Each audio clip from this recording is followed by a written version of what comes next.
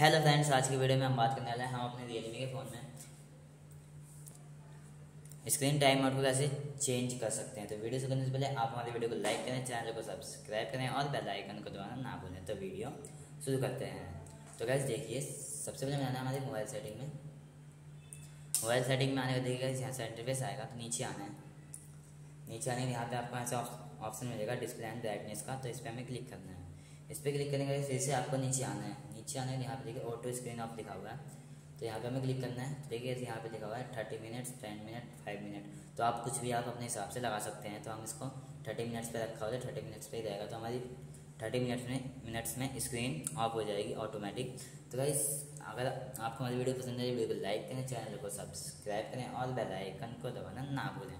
तो वीडियो समाप्त करते हैं। तब तक के लिए नमस्कार।